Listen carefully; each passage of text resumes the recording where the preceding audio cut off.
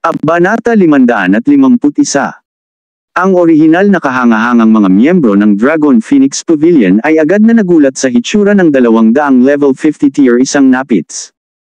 Siyam na Dragon's Emperor, na nanood ng labanan mula sa malayo, ay nagsuot din ng malungkot na ekspresyon. Hindi ba sinabi ng mga ulat na mayroon lamang silang humigit kumulang 50 plus NPCs? Nine Dragons Emperor ang lumingon sa intelligence agent sa tabi niya. Snapang, sumigaw siya, ano na lang ang ginagawa niyo? Nabigo kang magulat sa dalawang daang tier isang napits. Sabihin mo sa akin, anong nangyayari dito? Ang nag-iisang level 50 tier isang napits ay napakahirap harapin. Ang bawat isa ay nangangailangan ng isang pangkat ng mga piling miyembro upang ay pin down. Ngayon na mayroong karagdagang dalawang daan, ito ay lubos na makakaapekto sa kanyang mga plano. Biglang lumalabas ang malamig na pawis sa noo ng pinuno ng reconnaissance unit. Sa sobrang takot ay hindi siya makapagbitaw ng kahit isang salita. Noong una, sinubukan niyang mag-isip ng dahilan para iligtas ang sarili. Gayunpaman, alam na alam niya kung anong uri ng personalidad mayroon ang Nine Dragons Emperor. Habang sinusubukan niyang bigyang katwiran ang kanyang sarili, mas malala ang kahihinatnan nito. Kalimutan mo na. Hindi mo na kailangang gawin ang iyong trabaho. May papalit sa iyo in the future. Kinawayan ng Nine Dragons Emperor ang kanyang kamay, kung saan ang kanyang mga subordinate ay sumabay sa recon leader palabas ng gusali at pinaalis siya sa Dragon Phoenix Pavilion. Kagulo, atasan ang Blood Legion na magpadala ng tulong. Sa lakas ng Blood Legion, dapat nilang pigilan ang dalawang daang NPC. Sa sandaling ito, walang pakialam ang Nine Dragons kung paano nakuha ni Zero Wing ang lahat ng mga NPC na ito. Wala siyang pagpipilian kundi isali ang orihinal na hindi aktibong Blood Legion sa labanan. Naiintindihan. This subordinate will lead them over now, tumango si Chaos Dancer at ngumiti. Makalipas ang ilang sandali, ang libong malakas na Blood Legion, na naka-standby, ay pumasok sa Zero Wings Guild residence. Samantala, ang iba't ibang malalaking guild na nanunood ng labanan mula sa malayo ay nagulat din sa biglaang pagbabago. Oo naman, medyo may kakayahan si Zero Wing. Sa napakaraming tier isang napits, kahit na ang Blood Legion ay hindi mapipigilan sila ng matagal. Pagkatapos ng lahat, ang bawat level 50 tier isang napits ay katumbas ng isang level 50 special elite. Bamaantong hininga si Galaxy Past. Kung mayroon mang ibang first-rate guild ang tumayo sa lugar ng Dragon Phoenix Pavilion ngayon, wala silang pagkakataon laban kay Zero Wing. Lalo na, ang malakihang silencing spell na ginamit ng pavilion bago magsimula ang labanan ay lubos na naghigpit sa lakas ng pakikipaglaban ng mga NPC at nasilpa ang malakihang destruction spell ni Zero Wing. Nawala ni Zero Wing ang lahat ng kanilang mga pakinabang sa isang hakbang lamang na ito. Samantala, sa loob ng Zero Wings residence, santukan ang santukan. Ang eksena sa paninirahan ay nagmistulang isang larangan ng digmaan mula pa noong unang panahon.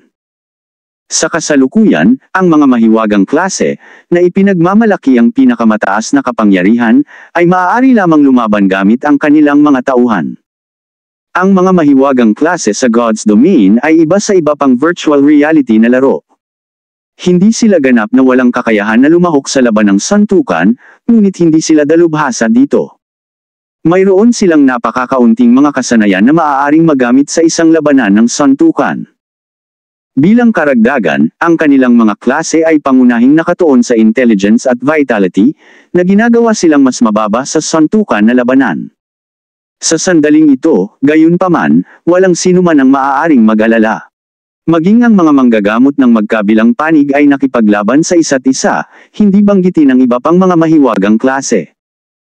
Kung ikukumpara sa one-on-one -on -one fight sa pagitan ng magical classes, matindi ang labanan sa pagitan ng physical classes.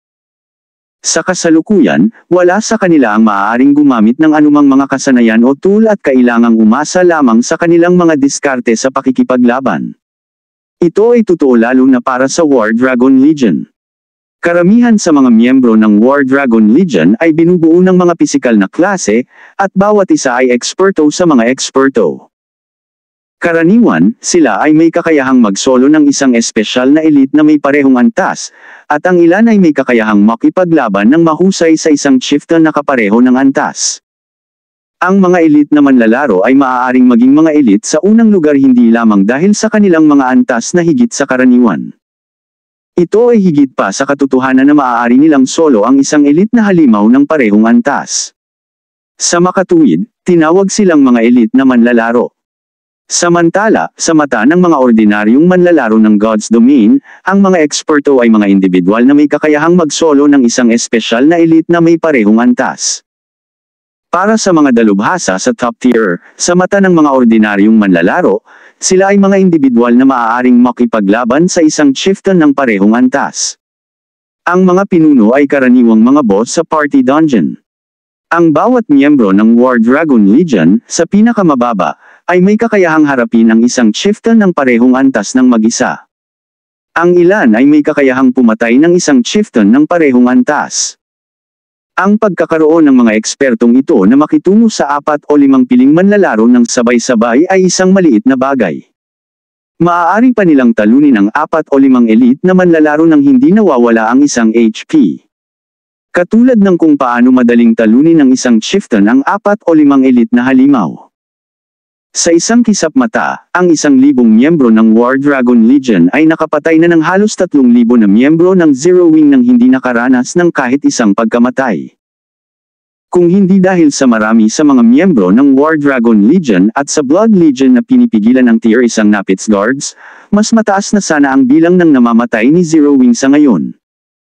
Gayunpaman, kumpara sa kapitan ng War Dragon Legion, Marshal Dragon, ang mga ordinaryong miyembro ng War Dragon Legion ay wala.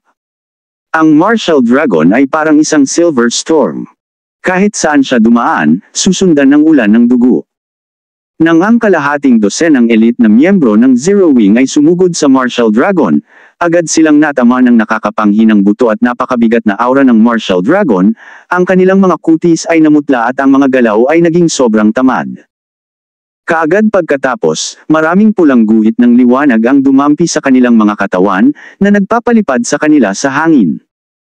Sa sumunod na sandali, bumuhos ang dugo na parang bukal mula sa maraming sugat. Nang bumalik ang mga elite na ito sa lupa, isang piraso ng kagamitan ang nahulog sa tabi nila. Hindi na kayang gumalaw ang kanilang mga katawan. Talagang nakakatakot ang War Dragon Legion. Marami sa kanila ang mas malakas pa sa akin. Kahanga-hanga ang Martial Dragon na iyon. Kung inawi ko siya, hindi ako kumpiyansa na kaya kong hamarang ng ilang galaw bago niya ako matalo. Hindi nakapagtataka kung bakit sinasabi ng mga tao na ang lakas ng Dragon Phoenix Pavilion ay ang pinakamalapit sa isang super guild. Ang Martial Dragon na ito ay talagang kayang makipaglaban sa mga matatandang iyon, hindi makapaniwalang pahayag ng Galaxy Past. Ang mga super guild ay hindi naging ganoon dahil sa kanilang napakalaking husay sa pananalapi o sa kanilang malaking hukbo ng mga eksperto. Ang tunay na dahilan ay ang mga hindi makataong eksperto na nakatayo sa pinakatuktok ng virtual gaming world. Ang Martial Dragon ay may tiyak na potensyal na maging isang eksperto. Narinig ko na ang Martial Dragon ay isang talento na minsan lang lumilitaw sa bawat sampung taon sa Heavenly Dragon Pavilion. Mukhang hindi naman ito exaggeration. Pinagmasdan ni Purple Eye ang figure ni Martial Dragon na kahawig ng isang Diyos ng digmaan, pagkamangha at pag-asa, pati na rin ang ilang pahiwatig ng paninibugho, na pumupuno sa kanyang mga mata. Para sa mga ekspertong tulad niya, isang likas na hilig ang paggalang sa malakas. Kasabay nito, nais din niyang hamonin ang mga powerhouse na nakatayo sa summit. Ang Martial Dragon ay isang taong nakakuha na ng karapatang hamonin ang mga naturang individual, kaya paanong hindi siya magseselos. Naisip pa ng Purple Eye na makipagpalitan ng ilang galaw sa Martial Dragon sa sandaling ito. Kahit alam niyang hindi siya katapat ng lalaki, malaki pa rin ang pakinabang sa kanya ng pakikipagpalitan. Kung nais ng isang dalubhasa na mapabuti ang kanilang sarili ng mabilis, hindi sila maaaring umasa lamang sa pagsasaliksik sa sarili at pag-eksperimento. Kailangan nilang labanan ang iba't ibang mga eksperto, gamit ang karanasan upang matuto at mapabuti ang kanilang sariling mga pagkukulang. Noon lamang sila maaaring umunlad ng mabilis. Habang nakatutok ang Purple Eye sa bawat galaw ni Marshall Dragon, umaasang may matutunan sa mga kilos nito, bigla niyang napansin ang paglipat ng tingin ni Marshall Dragon sa ibang lokasyon, bakas sa mga mata nito ang parehong bakas ng pagkabigla at excitement.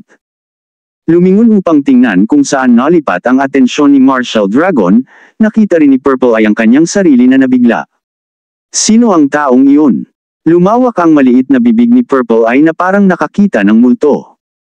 Kakapanood lang niya ng tatlong miyembro ng War Dragon Legion na namatay agad. Tama yan. Napatay silang tatlo sa isang kisap mata. Bukod dito, sila ang mga eksperto ng War Dragon Legion, hindi lang mga noob na makikita sa mga lansangan. Laban sa marami sa gayong mga eksperto, kahit ang Purple Eye ay hindi nagtiwala na siya ay mananalo. Gayunpaman, nagtagumpay ang taong iyon. Bukod dito, nagawa niya ito ng madali. Pagkatapos ng ilang sandali ng pagkabigla, sa wakas ay nakuha ng Purple Eye ang malinaw na pagtingin sa manlalarong iyon. Taglay ang isang kaakit-akit na hitsura, nagsuot siya ng angkop na itim na katad na baluti na ganap na nagpapakita ng maganda at nakakabighaning kurbo ng kanyang katawan. May hawak din siyang dalawang dugong pulang espada na nagbubuga ng nakasisilaw na apoy. Sa sandaling ito, para siyang nakatayo sa gitna ng Zero Wings Residence. Iyon ang fire dance. Ang Purple Eye ay hindi nang ahas na paniwalaan ang sarili niyang mga mata ngayon. Kabanata 552 Paulit-ulit na kinusot ng Purple Eye ang kanyang mga mata at doble ang tingin sa nakakaakit na figure. Sa huli, siya ay isandaang porsyento sigurado na hindi siya nakakita ng mali. Bakit ito ibang-iba sa iniulat? Ang Purple Eye ay nakabasa ng maraming ulat sa Zero Wing. Ang Star Alliance ay nagtipon sa bawat kapansin-pansing eksperto sa Zero Wing. Mayroon ding mga video ng bawat isa sa mga kapansin-pansing ekspertong ito. Ang Fire Dance ay isa sa ilang pinakakapansin-pansing eksperto sa Zero Wing. Kaya naman, ang Purple Eye ay nagkaroon ng napakahusay na pag-unawa sa lakas ng Fire Dance. Gayunpaman, ang data sa Fire Dance ay nakilala lamang siya bilang isang top-tier na eksperto at halos hindi niya kayang makipaglaban sa isang chieftain na kapareho ng antas. Kaya naman, ang Purple Eye ay hindi nagbigay ng anumang kahalagahan sa Fire Dance. Tanging si Aqua Rose lamang ang maaaring ituring na isang karapat-dapat na kalaban para sa kanya. Hindi man lang nirerango ang Fire Dance sa kanyang listahan. Ngayon, gayon paman. Ang fire dance ay madaling natalo ang tatlong nangungunang eksperto. Paano ang lakas na ito ay hindi mabigla sa Purple Eye? Ito ay totoo lalo na para sa parang talam na aura na nakapalibot sa fire dance. Kahit na nakatingin sa ganoong kalayuan, ramdam niya ang malaking panganib sa aura na iyon. Pakiramdam ko ay maaaring lumitaw ang fire dance sa kanyang harapan anumang oras at maglunsad ng isang pag-atake. Sa sobrang nakakasilaw at mapanganib na aura, mahirap para sa fire dance na hindi makaakit ng atensyon. Hindi banggitin, mayroong maraming mga eksperto na naruroon sa larangan ng digmaan, at bawat isa sa kanila ay nagtataglay ng sensitivity ng isang daga. Agad na nakita ng mga ekspertong ito ang pinagmulan ng panganib. Apat sa mga miyembro ng War Dragon Legion na pinakamalapit sa fire dance ay sabay-sabay na sinisingil patungo sa fire dance na parang pinlano nila ito, perpektong pinag-ugnay nila ang kanilang mga aksyon, naglulunsad ng isang pag-atake mula sa lahat ng panig. Nakaharap sa pagkubkob ng apat na legionnaire, bahagyang umindayog ang figure ng fire dance. Sa susunod na sandali, isang after-image na lang ang natitira sa kanyang lugar, na itinatanggi sa mga legionnaire ang kanilang pagkakataong mag-strike. Kaagad, sumugod siya patungo sa pinakamalapit na level 27 assassin, ang dalawang apoy pula na maikling espada sa kanyang mga kamay na nag-transform sa maraming talam ng liwanag na tumama tulad ng mga ulupong. Bilang miyembro ng War Dragon Legion, ang assassin ay hindi ordinaryong manlalaro. Nang harapin ang biglaang pag-ataking ito, sa halip na umatras, sumulong siya. Mabilis na nakita ng assassin ang trajectory ng mga maiikling espada ng fire dance. Ibinaba ang kanyang sariling mga punyal, pinalihis niya ang kanyang mga pag-atake, sunod-sunod pagkatapos ilihis ang mga espada ng liwanag, sinipa ng assassin ang fire dance. Masyado ka pa ring berde. Ngumisi ang assassin. Ang mga pag-atake ay hindi limitado sa mga armas ng manlalaro. Maaaring gamitin ng isang manlalaro ang kanilang katawan para umatake din. Gayunpaman, ang karamihan sa mga manlalaro ay nagpatibay ng pag-iisip na ang isa ay maaari lamang maglunsad ng mga pag-atake ng santukan gamit ang kanilang mga armas, wala nang iba pa. Kaya naman, karaniwang itinuon nila ang kanilang atensyon sa mga sandata at kamay ng isang kaaway. Ang hindi inaasahang sipa na ito ngayon ay magdudulot ng buhay sa fire dance. Sa sandaling ito, gayon paman, isang berserker, na medyo malayo sa assassin, ay sumigaw, Little Six, sa likod mo. Salamat sa babala, ang assassin na tinawag na Little Six ay biglang napansin na siya ay sumipa lamang ng isang after image. Sa likod, biglang naramdaman ni Little Six na nanlamig ang kanyang likod. Ang kanyang maraming taon ng karanasan sa pakikipaglaban at matinding pandama ay nag-alerto sa kanya na may tao sa kanyang likuran. Kaagad, sinubukan niyang ibaluktot ang kanyang katawan pasulong sa pagtatangkang iwasan ang paparating na pag-atake. Gayunpaman, hindi ginamit ng fire dance ang kanyang maiikling espada para umatake. Sa halip, sa sandaling umikot siya sa likod ng assassin, sinipa ng kanyang balingkinitang binti ang hita ng assassin. Nahuli na hindi handa, ang welga ay nagpaikot sa assassin sa hangin. Kaagad pagkatapos, iniswipe ng fire dance ang kanyang talam sa lalamunan ng assassin. Sa pangkalahatan, ang kanyang mga aksyon ay simple at direkta na walang anumang nasayang na paggalaw. Sa sandaling ito, mukha siyang veteranong mamamatay tao. Sa oras na ang tatlong iba pang miyembro ng War Dragon Legion ay naabutan sa fire dance, ang assassin na ito ay naging isang walang katawan na kaluluwa sa ilalim ng mga espada ng fire dance. Bagamat tila mabagal ang buong proseso, sa katotohanan, ang lahat ay nangyari sa isang kisap mata. Sa oras na kinailangan ng fire dance upang nakawin ang buhay ng assassin, ang mga legionnaire ay tumawid lamang sa layo na sampung yarda. Nang dumating ang tatlong legionnaire sa harap ng babaeng manlalaro, huminto sila, natuon ang kanilang mga mata sa mapang akit na katawan ng fire dance. Sa sandaling ito, hindi na sila nang ahas na lapitan ng kaakit-akit, ngunit nakamamatay na assassin ng basta-basta. Purple, bakit wala akong narinig tungkol sa fire dance na ito? Madali niyang mapatay ang tatlong miyembro ng War Dragon Legion. Kahit ngayon, sabay-sabay na humarap sa apat na legionnaires, mabilis niyang hinarap ang isa sa kanila. Maaari ba siyang maging isang bagong talento na kamakailan lamang ay inalagaan ng ilang super guild? Tanong ni Galaxy Past, hindi napigilan ang kanyang pagkabigla. Bilang guild leader ng isang first-rate na guild, napakaalam niya tungkol sa virtual gaming world. Magkagayunman, mula sa impormasyong natanggap niya, walang balita tungkol sa isang karakter na nagngangalang Fire Dance. Gayunpaman, ang kanyang kaalaman sa mga aktibidad ng Super Guild ay limitado. Dahil ang Purple Eye ay isang taong nagmula sa isang Super Guild, dapat ay mayroon siyang mas mahusay na pangunawa sa Super Guild. Bukod dito, kung isa sa alang-alang kung paano natalo ng Fire Dance ang mga miyembro ng War Dragon Legion ng napakahusay, tiyak na hindi siya bago sa paglalaro. Karaniwan, ang mga eksperto lamang na inaalagaan ng mga Super Guild ang nagtataglay ng mga natatanging kasanayan. Guild Leader, bagamat iniisip ko rin na baka siya ay isang bagong talento mula sa ilang Super Guild, Mula sa nakita ko sa kanyang mga diskarte, masasabi kong may katiyakan na walang super guild ang nag-aruga sa kanya. Bawat galaw niya ay parang totoong nakikipaglaban siya. Ang kanyang mga pag-atake ay hindi katulad ng mga diskarte sa pakikipaglaban na ginagamit sa isang virtual reality na laro, sabi ni Purple Eye, isang mapait na ngiti sa kanyang mukha. Iyan ang akma. Tumango si Galaxy Past, bakas ng selos ang bumungad sa kanyang puso. Bakit siya nagseselos? Ito ay dahil hindi lang si Fire Dance ang nag-iisang taong gumaganap ng kakaiba sa larangang ito. Naroon din ang Guardian Knight Kula, ang Assassin Flying Shadow, at marami pang miyembro ng Zero Wing. Ang lakas ng pakikipaglaban na ipinakita ng bawat isa sa kanila ay pambihira. Kaya lang, ang Fire Dance ang pinakamaliwanag sa kanilang lahat. Ang Zero Wing ay hindi man lang maituturing na isang second-rate na guild, ngunit mayroon itong napakaraming eksperto. Kaya naman, paanong hindi siya magseselos? Paano kung ang Zero Wing ay maraming eksperto? Paano kung maaari kang pumili ng isang laban sa mga first-rate na guild? Ngayong nasaktan mo na ang Dragon Phoenix Pavilion, ngayon na ang huli mo. Pinapanood ang labanan mula sa malayo, habang naiinggit si Feng Shuanyang, ipinagdiwang din niya ang kasawian ni Zero Wing.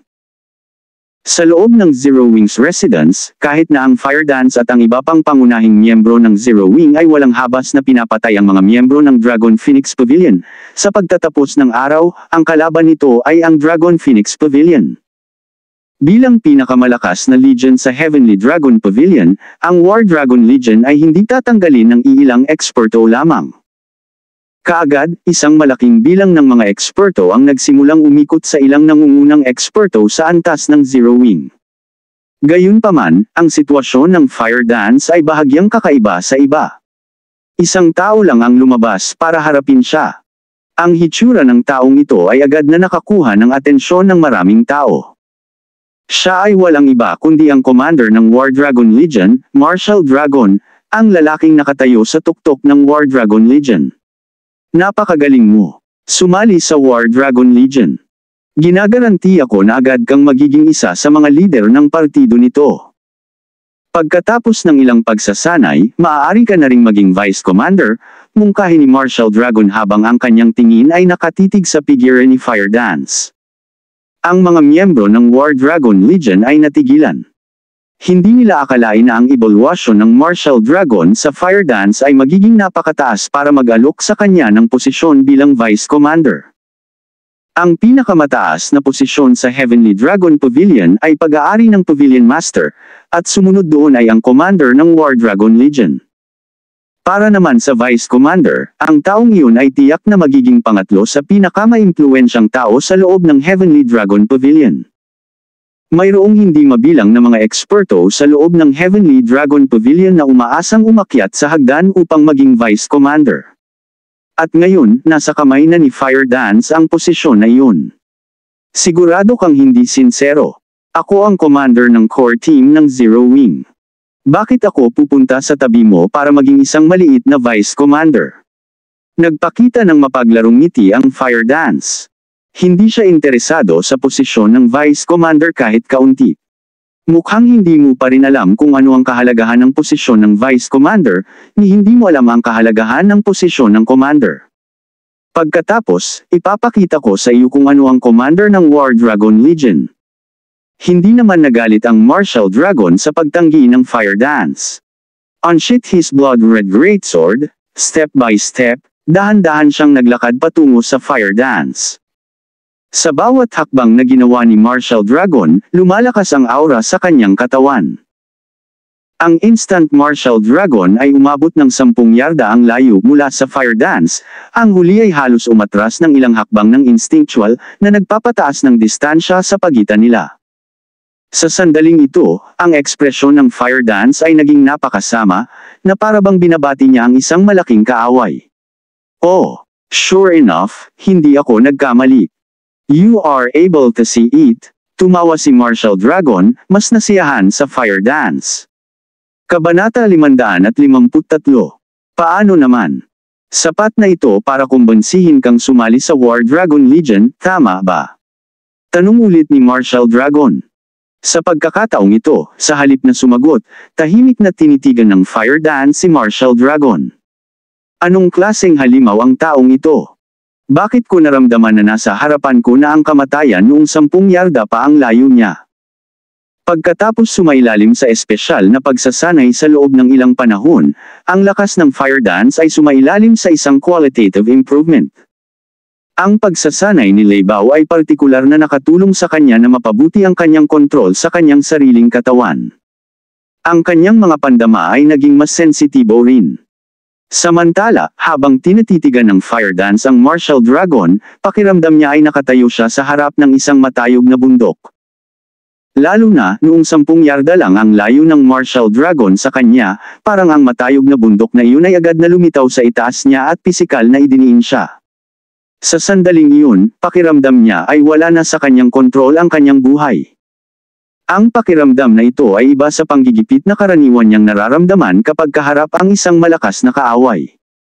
Pakiramdam nito ay ang lahat sa loob ng 10 yarda na radius ng Martial Dragon ay ganap na nasa ilalim ng kontrol ng Berserker. Hindi makapaniwala si Fire Dance. Hindi niya maisip kung paano nakamit ng Martial Dragon ang ganoong tagumpay. Ang Martial Dragon ay malinaw na isang Berserker. Bukod sa ilang partikular na skills, ang normal na hanay ng pag-atake ng isang Berserker ay limitado sa 5 o 6 na yarda. Bukod dito, pinatahimik ng Dark God's Descent ang lahat, at walang sinuman sa kanila ang maaaring gumamit ng anumang skills. Gayunpaman, ang Martial Dragon ay mayroong attack range na 10 yarda at maaari pang ang magdulot ng pakiramdam ng nalalapit na kapahamakan. Maging ang Fire Dance ay nagsimulang magtaka kung naghahalusinate ba siya dahil sa kanyang pagod sa kanyang kamakailang pagsasanay. Gayunpaman, mula nang magsimula siyang maglaro ng God's Domain, hindi siya naligaw ng kanyang mga pandama, kaya paano siya magkakamali ngayon? Kaya naman, agad na umatras ang Fire Dance mula sa Martial Dragon. Gayunpaman, ang pagdrag sa laban na ito ay hindi isang solusyon. Matapos itong pag-isipan, nagngangalit ang Fire Dance habang naghahanda siyang subukan ang sarili laban sa Martial Dragon. Sa susunod na sandali, ang fire dance ay nag-transform sa isang itim na anino habang siya ay sumugod patungo sa Martial Dragon. Sa mga tuntunin ng mga katangian, kumpiyansa ang fire dance na mas mataas siya sa Martial Dragon nang walang dahilan maliban sa tier ika-isa ng Setyembre Equipment for Assassins, ang Dark Melody Set Equipment, na ibinigay sa kanya ni Shafeng. Matapos ay equip ang set na ito, hindi lamang nakatanggap ng malaking tulong ang kanyang mga katangian, ngunit naipakita rin niya ang kanyang lakas sa pakikipaglaban ng mas mahusay. Sa harap ng ganap na lakas, ang lahat ng paraan ng panlilinlang ay walang silbi. Tungkol sa mga diskarte, ang fire dance at ang iba pa ay nag-improve ng malaki dahil sa pagsasanay ni Nalibao at Shafeng. Maaari silang ituring na mga ekspertong super first rate, sa aktwal na labanan, tiyak na mas mataas sila sa mga ordinaryong miyembro ng War Dragon Legion. Maaaring hindi nila magawang mag-solo ng isang chieftain ng parehong antas, ngunit maaari nilang ipaglaban ang isa sa medyo mahabang panahon. Matapos ay factor ang tier ika-isa ng Setyembre equipment at ang kanilang top tier na Dark Gold weapons, madali nilang masolo ang isang chieftain ng parehong level. Maaari pa nilang harmonyin ang isang Panginoon. Pagkatapos ng lahat, ang isang tier ika-isa ng Setyembre equipment ay mas mababa lamang sa isang Epic Set equipment. Ang pagtaas ng katangian na ibinigay nito ay hindi maliit na bagay. Higit pa rito, bawat isa sa kanila ay nilagyan ng tatlong intermediate mana armor kit. Sa mga tuntunin ng mga katangian, ganap nilang na-overwhelm ang mga ordinaryong miyembro ng War Dragon Legion. Kahit laban sa commander ng War Dragon Legion, Martial Dragon, ito ang nangyari. Ang instant fire dance ay umabot sa 10 yarda na hanay, bahagyang ibinaling niya ang kanyang mga paa, at bigla, nahati siya sa dalawang magkatulad na figure. Halos imposibleng sabihin kung sinong babae ang totoo. Ang dalawang figure ay nagpatuloy sa pag-atake ng hiwalay sa Martial Dragon. Kahit sinong ordinaryong manlalaro ay mahuhuli at mabibigong mag-react kung biglang dumbable ang kanilang kalaban. Kahit na ang isang eksperto ay magdadalawang isip. Bilang karagdagan, ang fire dance ay napakahusay. Halos walang labis na paggalaw sa kanyang pag-atake. Sa bilis ng kidlat, lumipad ang dalawang True Fire Blades sa mga kamay ni Fire Dance patungo sa vital point at blind spot ng Martial Dragon. Ang iba't ibang malalaking guild na nanunood ng laban mula sa malayo ay pansamantalang natulala. Ang bilis at bangis ng fire dance ay hindi napigilan. Hindi man lang makasabay ang mga mata nila sa kanya. Kahit na ang isang eksperto ay matatapos. Gayunpaman, sa sandaling bago tumama ang True Fire Blade sa Martial Dragon, isang pulang guhit ang kumislap, na nagpalihis sa parehong pag-atake ng Fire Dance. Kasabay nito, ang resultang epekto ay nagtulak sa fire dance sa isang retreat. Siya ba ay isang berserker? Paano niya nabubunot ang kanyang espada ng napakabilis? Napilitang umatras ng tatlong hakbang ang fire dance bago niya pinatatag ang kanyang katawan. Sa sandaling ito, gayon paman, ang kanyang dalawang kamay ay namamanhid. Ang mga berserker ay sikat sa kanilang lakas, kaya hindi nakakagulat ang fire dance na ang counter-attack ng martial dragon ay tinaboy siya. Gayunpaman, siya ay isang assassin, isang klase na sikat sa bilis nito. Malinaw na una siyang nakatama, ngunit nagawa pa rin ng Martial Dragon na harangan ang kanyang mga pag-atake. Itong fire dance ay hindi naman masama. Sa kasamaang palad, ang agwat sa pagitan niya at ng Martial Dragon ay napakalaki. Napakalawak nito na kahit siya ay hindi napagtanto ang lawak nito. Pinapanood ang laban mula sa malayo, ang Nine Dragons Emperor ay nagpakita ng isang mahinang ngiti. Pavilion Master, paano mo may kukumpara ang batang babae na iyon sa Martial Dragon? Ito ay kahanga-hanga na ang maliit na batang babae na ito ay nagtataglay ng gayong kasanayan sa gayong murang edad. Kung sasali siya sa Dragon Phoenix Pavilion, ang kanyang hinaharap ay walang limitasyon. Sa loob ng ilang taon, maaari pa siyang maging pangalawang Martial Dragon. Parehong ngumiti ang matandang naglilingkod sa Nine Dragons Emperor. Ang Martial Dragon ay isa sa pinakamalakas na manlalaban na iniaalok ng Heavenly Dragon Pavilion. Siya rin ay isang pambihirang talento na minsan lamang lumitaw sa isang dekada. Ang virtual na mundo ng paglalaro ay nagbago sa araw, at bawat taon, ang Dragon Phoenix Pavilion ay magre-recruit ng malaking bilang ng mga manlalaro na may potensyal. Samantala, ang katotohanan na ang Martial Dragon ay kilala bilang isang henyo na lumilitaw lamang isang beses bawat sampung taon sa Dragon Phoenix Pavilion ay nagpakita kung gaano karaming talento ang taglay niya. Paanong ang isang maliit na batang babae, na hindi pa naaalagaan ng isang super guild, ay posibleng makipagkompetensya sa gayong individual? Dati, bagamat tila napakabilis ng pagharang ng Martial Dragon, sa katotohanan, hindi yun ang nangyari. Dahil lang sa fire dance ay nabigo na mapansin ng Martial Dragon na umaatres ng kalahating hakbang. At tiyak na ang distansyang ito ang nagbigay sa dakilang espada ng Martial Dragon ng sapat na oras upang makahabol sa mga maiikling espada ng Fire Dance. Ang subtlety na nilalaman ng kalahating hakbang na ito ay ang pagkakaiba sa pagitan ng Fire Dance at Martial Dragon. Bago pa maalala ng Fire Dance kung paano nakakounterattack si Martial Dragon. Biglang gumalaw si Martial Dragon.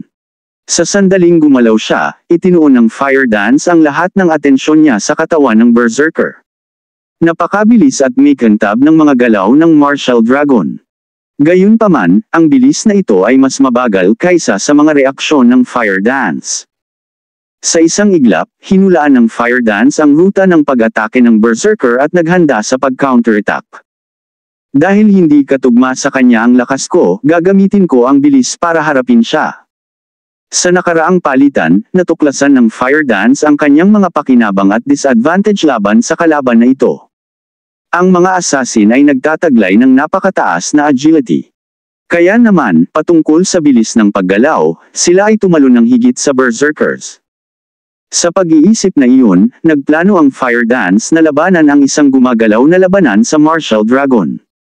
Agad na naiwasan ng Fire Dance ang pag-atake mula sa Great Sword ng Martial Dragon. Pagkatapos ay tumabi siya at nagpadala ng hampas sa leeg ng berserker. Umiwas. Kontra-atake. Ito ay isang simpleng pattern ng pag-atake. Gayunpaman, halos sabay-sabay na natapos ang fire dance ng dalawang hakbang. Nang iisipin ng fire dance na sundan ang kanyang counterattack na may isa pang pag-atake, biglang namutla ang kanyang kutis nang maramdaman niyang may kakaiba. Nang dama po ang kanyang counterattack, hindi niya naramdaman ang paghiwa ng laman ng kanyang talem. Sa kasamaang palad, huli na para mag-react. Si Martial Dragon, na buong pagmamalaking nakatayo sa harap ng fire dance, ay itinaas ang kanyang dugong pulang greatsword at ibinaba ito pababa. Isang pulang talem ng liwanag ang bumungad sa fire dance. Ang napakalawak na presyon ng hangin na nabuo ng Great Sword ng Martial Dragon ay nagpagulong ng isang ulap ng alikabok kasama ng isang tilamsik ng sariwang dugo. Sa sumunod na sandali, lumipad pabalik ang Fire Dance, mabilis na bumagsak ang kanyang HP. Buti na lang, may tier ikaisa ng Setyembre equipment at tatlong intermediate mana armor kit ang Fire Dance. Sa kabuuan, mayroon siyang higit sa 6,000 happy, kahit na sa kanyang mataas na depensa. Bagamat ang Martial Dragon ay nagtataglay ng nakakatakot na lakas, hindi niya kayang patayin ang Fire Dance sa isang hit. Mababawasan lang niya ng kalahati ang HP niya. Napakalakas na kagamitan. Medyo nagulat si Marshall Dragon nang makita niyang nakatayo pa rin ang fire dance. Gayunpaman, mabilis niyang naunawaan ang dahilan kung bakit hindi niya nagawang patayin ang assassin sa isang hit. Ang mga kagamitang may kakayahang payagan ng isang assassin na makaligtas sa isa sa kanyang mga welga ay tiyak na nagtataglay ng makapangyarihang mga katangian. Sa sandaling ito, kahit ang Martial Dragon ay naingat sa fire dance. Maging ang Nine Dragons Emperor, na nanood ng labanan mula sa malayo, ay naninggit sa fire dance. Talagang nakakapagtaka kung paano kayong mga taga Zero Wing nakakuha ng ganoong pinalaking kagamitan.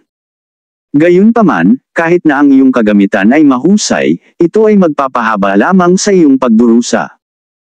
Sa pagsasabi nito, muling sumulong si Marshall Dragon, itinapat ang kanyang dakilang espada patungo sa fire dance, na halos hindi pa nakaka-recover mula sa kanyang pagkahulog. Nang malapit ng tamaan ng pulang talam ng liwanag ang assassin. WHO.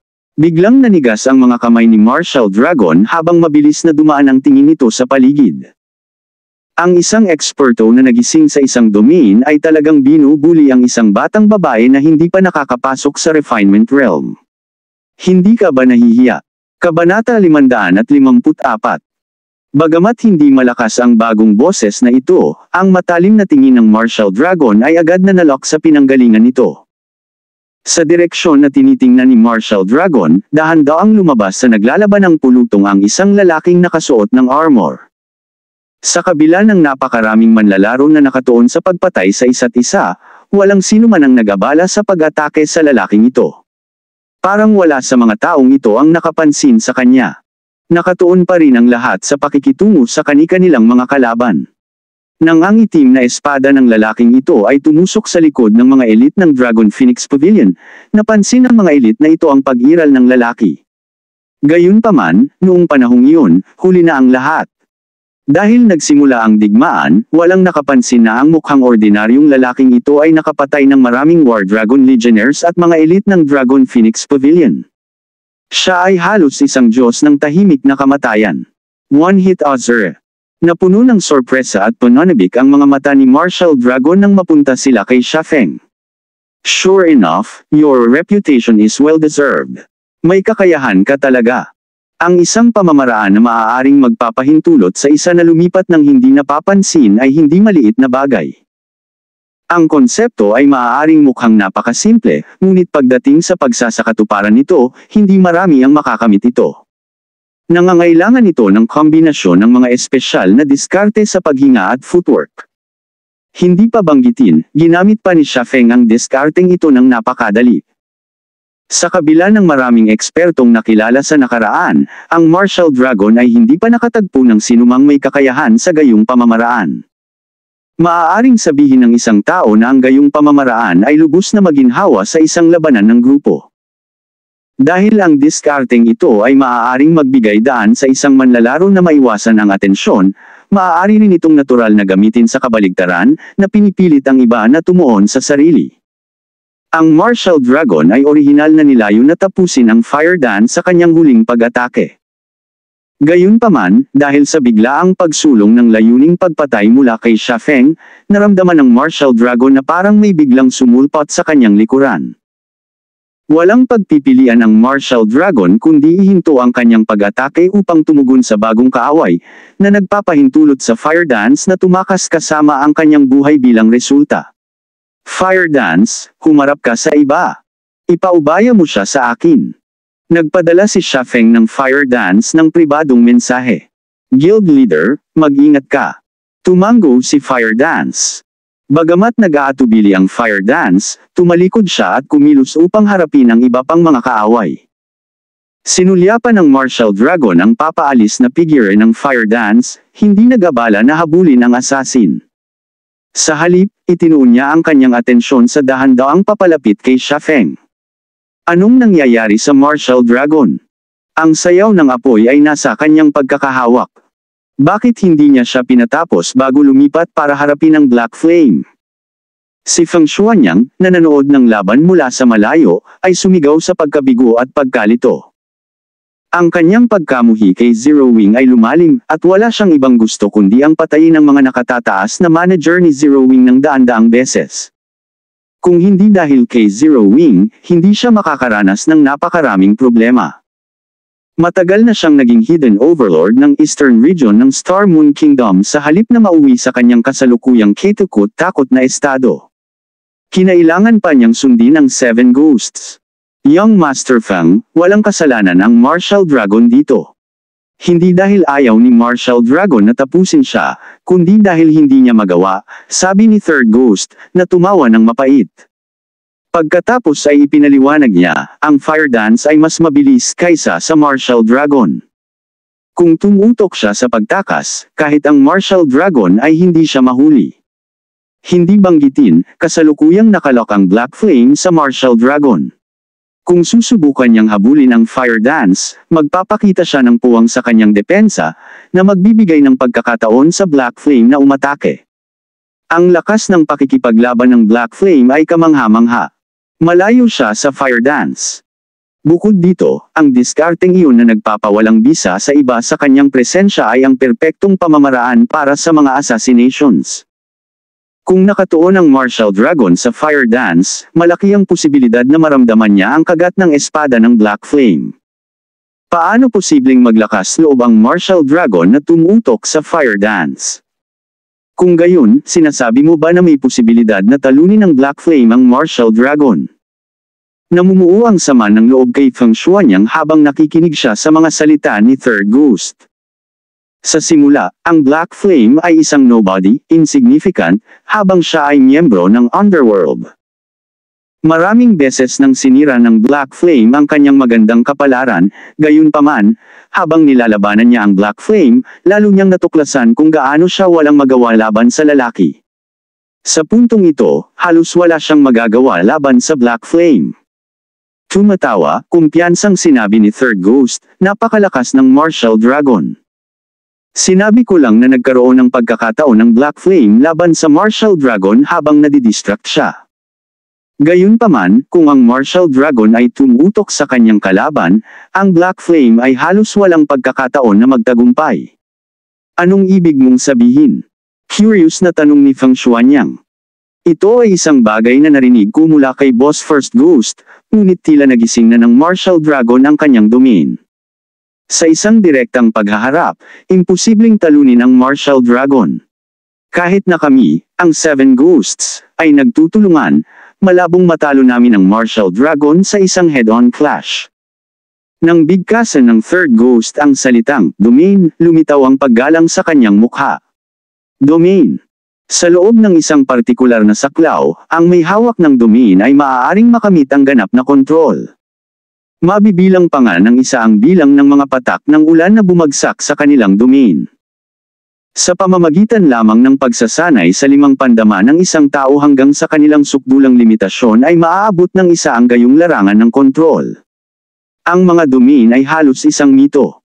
Karaniwan, ang mga henyo lamang sa mga henyo ang may posibilidad na maunawaan ang gayong pamamaraan. Maaaring sabihin ng isang tao na ang mga domain ay ang mga pangarap na hinahangad ng hindi mabilang na mga eksperto. Habang ipinaliwanag ni Third Ghost ang sitwasyon, unti-unting lumapit sina Marshall Dragon at Shafeng sa isa't isa. Tatlumpung yarda, dalawampung yarda, labinlimang yarda. Isa-isa, ang mga nakatataas na tagapamahala ng iba't ibang malalaking guild na nakasaksi sa digmaang ito ay naglipat ng tingin sa dalawang manlalaro. Ang isa ay ang numero unong eksperto ng Star Moon Kingdom, ang Black Flame, habang ang isa ay ang nangungunang manlalaban ng Heavenly Dragon Pavilion, ang Martial Dragon.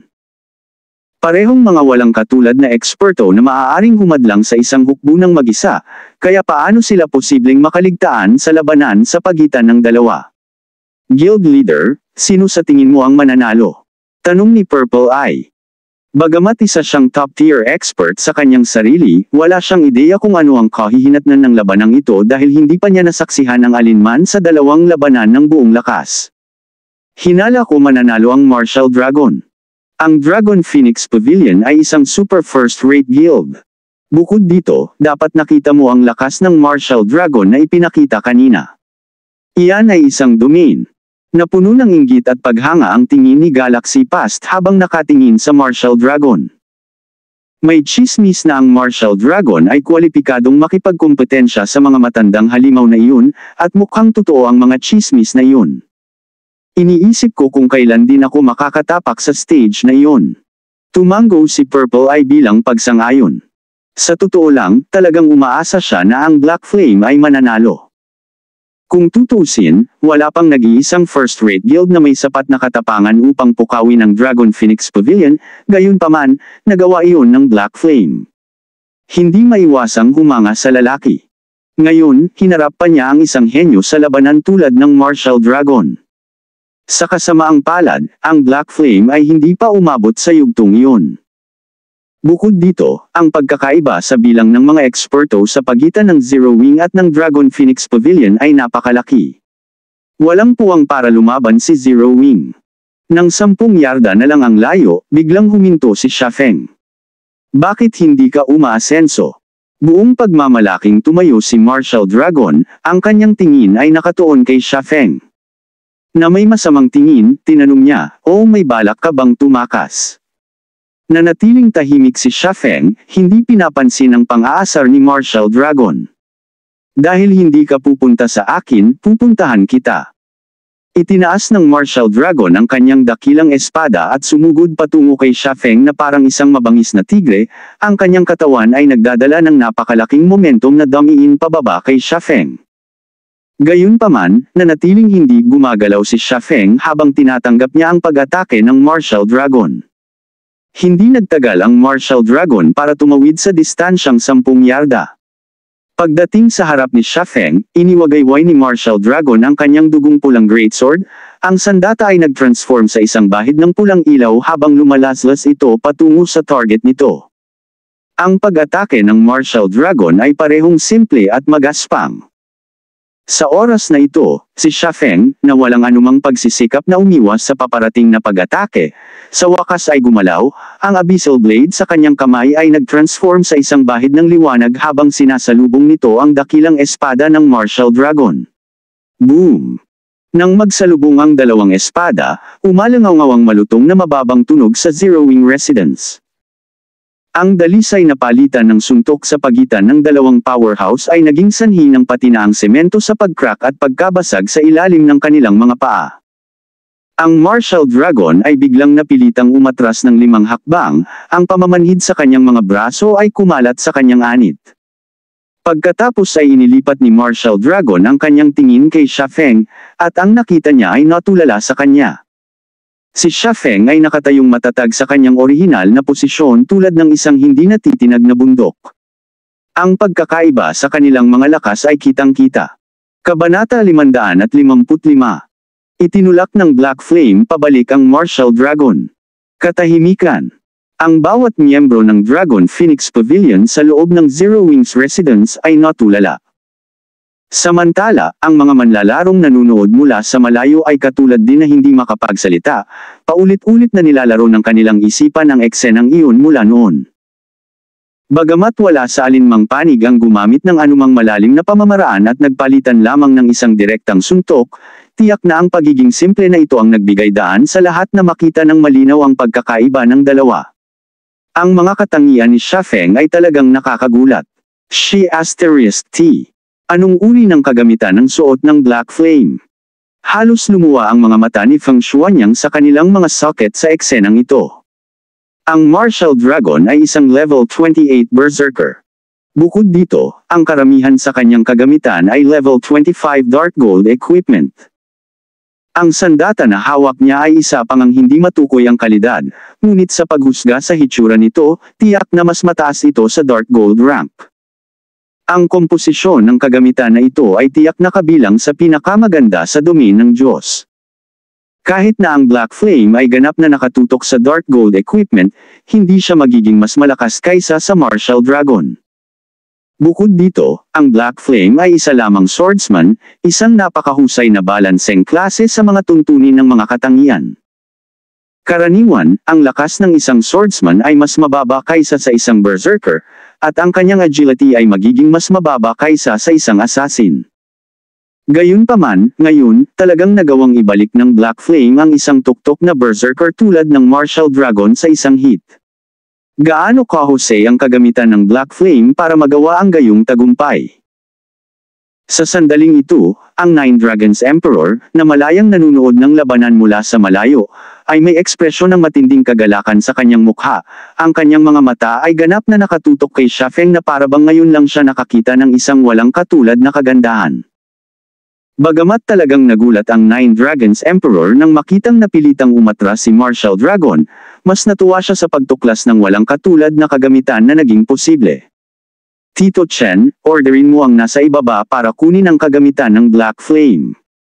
Inutusan ng Nine Dragons Emperor ang matandang katabi niya, kumikinang ang mga mata nito. Naiintindihan. Hinarap ng matanda na agad na yumuko si Tio Chen at umalis sa kanyang kinatatayuan. Makalipas ang ilang sandali, dumating ang matanda na may mabibilis na hakbang sa balkonahe ng pribadong silid, pagkatapos ay biglang sumigaw, War Dragon Legion, makinig ka. Dambungin ang bawat kagamitan sa katawan ni Black Flame at walang iwanan. Bagamat medyo may edad na ang matanda, pambihira ang boses nito ng sumigaw. Halos lahat ng tao sa kapitbahayan ay narinig siya. Katangahan ba ang Dragon Phoenix Pavilion? Hindi ba nila nakita kung paano tinaboy ng Black Flame ang Martial Dragon sa isang hit? Sino ang posibleng pumatay sa kanya at dambong sa kanyang kagamitan? At saka, kahit na plano nilang mang-hold up ng kagamitan ng isang tao, hindi naman dapat kailangan pang i-announce ito sa publiko ng ganoon, di ba? Kinutya ng ilang ordinaryong manlalaro na nanunood sa gilid. Nang marinig ng mga miyembro ng Zero Wing ang mga salita ng matanda, halos lumuwa sila ng dugo sa galit. Ang Dragon Phoenix Pavilion ay ganap na nakatingin sa kanila. Sa loob ng ilang panahon, ang mga miyembro ng Zero Wing ay lumaban ng may mas matinding bangis. Bagamat pinagtatawanan ng mga nanunood na ordinaryong manlalaro ang kalokohan ng Nine Dragons Emperor, wala ni isa sa mga nakatataas na manager ng ibang first-rate guild ang tumatawa. Alam na alam nila kung gaano kalakas ang Dragon Phoenix Pavilion. Sa kabila ng kasalukuyang maikling tagal ng labanan, ang bilang ng mga nasawi ay lubhang nakakatakot. Ang larangan ng digmaan, na noong una ay may halos 30,000 manlalaro, ngayon ay wala pang 20,000 na manlalaro ang natitira. Karamihan sa mga nakaligtas ay kabilang din sa Dragon Phoenix Pavilion. Maging ang War Dragon Legion ay mayroong mahigit 800 miyembro na nabubuhay pa. Sa pangkalahatan, magaan ang pagkatalo ng pavilion. Sa kaibahan, ang panig ni Zero Wing. Ang mga bagay ay kakilakilabot lamang sa panig na ito. Maraming mga piling miyembro ang namatay, at dalawang daan na lamang o higit pang mga manlalaro ng tier 1 ang natitira. Ang Zero Wing ay nawala ng halos kalahati ng pangunahing kapangyarihan nitong labanan. Kung hindi dahil sa mga tier isang napits, mas magiging pangit ang sitwasyon ni Zero Wing. Ang agwat sa pagitan ng dalawang guild ay kitang-kita sa isang sulyap. Hindi lang sila may kukumpara sa isa't isa. Tinatiboy ng Black Flame ang Martial Dragon. Ano ang dapat ipagdiwang? Talagang iniisip ng mga taong ito na may pagkakataong manalo ang Black Flame. Ngumisi si Third Ghost habang nakatingin sa malayong mga ordinaryong manlalaro. Iyon ang kinakalaban ng Dragon Phoenix Pavilion Zero Wing, isang super first-rate guild sa virtual gaming world. Bukod dito, ipinadala pa ng pavilion ang War Dragon Legion nito sa pagkakataong ito. Walang pagkakataong manalo si Zero Wing. Bukod dito, ang Martial Dragon ay isang walang katulad na dalubhasa na nakakuha ng isang domain. Bagamat nagkaroon ng kalamangan ang Black Flame sa attributes, hindi masyadong malaki ang agwat kaya hindi ito madaanan. Ang sinumang dalubhasa ay makakaunawa sa puntong ito ng napakalinaw. Kaya naman, hindi sineseryoso ng Nine Dragons Emperor ang Black Flame at buong-buo niyang intensyon na makuha ang kagamitan ng swordsman. Sa loob ng Zero Wings Residence, 12-dosenang beses nang nagpalitan ng galaw sina Martial Dragon at Shafeng. Sa tuwing umaatake si Shafeng, pinipilit niyang umatras si Martial Dragon, tinatamaan ang HP ng Martial Dragon sa bawat palitan. Sa sandaling ito, bumaba ang HP ng Martial Dragon sa humigit kumulang 70%. Gayunpaman, hindi partikular na natuwa si Shafeng sa sitwasyong ito, ni hindi rin siya nagalit sa plano ng Nine Dragons Emperor na dambungin ang lahat ng kanyang kagamitan. Nakaramdam lang siya ng kawalan.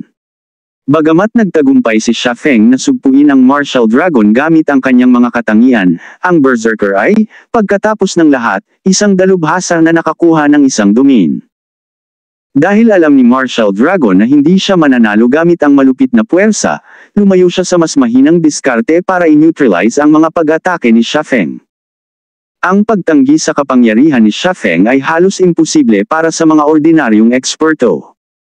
Pagkatapos ng lahat, si Xia Feng ay isang eksperto na nakatapak na sa flowing water realm. Kung gusto ng isang tao na paalang bisa ang kapangyarihan ni Xia Feng, kailangan nila ng hindi makataong antas ng katumpakan at kumpiyansa. Ang katotohanan na ang Martial Dragon ay maaaring makamit ang gayong tagumpay ay dahil sa kanyang domain. Siyempre, habang si Xia Feng ay walang magawa laban sa Martial Dragon ngayon, ganoon din ang masasabi para sa Berserker. Pagkatapos ng lahat, nakikita ni Xia Feng ang kanyang mga landas ng pag-atake. Sa tuwing sinubukan ng Martial Dragon na salakayin si Xia Feng, ang huli ay palaging gagawa ng naaangkop na mga hakbang sa pagtatanggol at pinipilit ang palitan sa isang harapang sagupaan sa pagitan ng mga armas. Sa isang frontal clash, ang panig na may mas mababang lakas ay natural na makakatanggap ng pinsala at mawawalan ng HP. Kaya, ang Martial Dragon ay maaari lamang bumili ng oras. Gayunpaman, hindi nagmamadali si Martial Dragon. Ang Zero Wing ay mahina. Fire Dance mag-isa ay hindi maaaring ibalik ang sitwasyon. Hindi ito isang arena. Hindi na kailangan para sa mga manlalaro na lumaban ng isa-isa. Kung hindi sapat ang tatlo hanggang limang legionnaire, maaari nilang dagdagan ang bilang na iyon. Kahit na may makapangyarihang attribute ang Fire Dance, ang War Dragon Legion ay maaari lamang siyang ituring bilang isang makapangyarihang boss at dahan-dahan siyang gilangin hanggang mamatay. Ikaw ang unang tao na nagtagal ng ganito katagal laban sa akin. Sa kasamaang palad, hindi na magtatagal ang laban na ito, malungkot na sabi ni Marshall Dragon habang sinusulyapan ang paligid. Mabilis na bumababa ang bilang ng mga miyembro ng Zero Wing na nabubuhay pa. Pagkatapos ng isa pang sampung minuto o higit pa, ang digmaang ito ay magwawakas. Ang kinalabasan na ito ay dahil sa pagkakaiba sa bilang at kalidad ng mga eksperto. Kahit na sa napakaraming NPC na pumupuno sa puwang, malayo pa rin sila sa sapat. Sa katunayan, ang labanan na ito ay hindi magtatagal. Sumakit din ang puso ni Xia Feng sa sitwasyong ito. Ang mga pagkalugi na dinanas ni Zero Wing sa digmaang ito ay sadyang napakalaki. Gayunpaman, sa halip na ipakita ang isang malungkot na ekspresyon, umiti si Xia Feng, na nagsasabing, gayunpaman, ang mananalo sa digmaang ito ay tayo pa rin, Zero Wing. Hindi mo ba nakikita ang sitwasyon ng guild mo ngayon? Hindi napigilan ni Marshall Dragon na matawa ng marinig ang mga salita ni Xia Feng. Gayunpaman, ilang sandali matapos magsalita ang Martial Dragon, biglang naging seryoso ang ekspresyon ng Berserker. Isang ambush. Biglang nakaramdam ng pagpatay si Martial Dragon na mas matindi kaysa noong ibinunyag ni Shafeng ang kanyang sarili. Agad na sinubukan ng Martial Dragon na maglagay ng ilang distansya sa pagitan ni Shafeng at ng kanyang sarili. Gayunpaman, hindi pinahintulutan ni Shafeng ang Martial Dragon na gawin ito, na damaikit ng malapit sa Berserker sa lahat ng oras. Sa mga tuntunin ng bilis, ang Martial Dragon ay sadyang walang laban kay Shafeng. Nang humarap si Martial Dragon sa sunod-sunod na pag-atake ni Shafeng, biglang lumitaw ang anino ng isang figure sa likod ng Martial Dragon. Scram! Nakabantay na si Martial Dragon laban sa figurang ito. Hinigpitan niya ang pagkakahawak sa kanyang dakilang espada, buong lakas niyang inihampas ang sandata patungo sa kanyang likuran, ang sandata mismo ay nagiging isang bahid ng pulang ilaw. Sa ilalim ng normal na mga pangyayari, ang biglaang pag-ataking ito ay tiyak na mabiglaang manlalaro, na lumitaw sa likod ng Martial Dragon. Dang! Gayunpaman, ang pulang talam ng liwanag na ito ay madaling naharang. Ikaw ay sa wakas ay nakuha ng Martial Dragon ang malinaw na tingin sa ambush at natigilan. Ang lalaking ito ay may kulay abong buhok at isang matangkad, matipunong katawan na mas malaki kaysa sa isang ordinaryong tao. Gayun din, ang taong ito ay hindi isang manlalaro ngunit isang NPC. Bagamat level 40 lang ang NPC na ito mas mababa kaysa sa mga level 50 tier isa na gwardya ang pressure na naramdaman ni Marshall Dragon mula sa kanya ay mas malakas pa kaysa sa naramdaman niya mula sa isang High Lord. Gayunpaman, ang Marshall Dragon ay walang oras upang pag-isipan ang pagkakakilanlan ng NPC na ito, dahil sa sandaling ibinayo ng NPC na ito ang kanyang espada, mahigit isang dosenang wind blades ang lumipad sa Marshall Dragon mula sa lahat ng panig. Si Shafeng lang ang nakakaalam kung ano ang skill na ito. Tier 2 sword skill, Wind Roar. Ang skill na ito ay hindi mablock at maaari lamang iwasan. Ngunit ang Martial Dragon ay wala ng oras para umiwas ngayon. Sa isang kisap mata, nilamon ng maraming Windblade ang Martial Dragon, ang kanyang 6,000 plus na HP ay agad na bumaba ng wala ni isang puntos na natitira. Ang ambush ay walang iba kundi ang personal guard ni Shafeng, si Kite. Kaya lang, sa sandaling ito, nabawi na ni Kite ang kanyang orihinal na lakas. Hindi na siya tier isang swordsman kundi isang tier dalawang swordmaster, sa halip.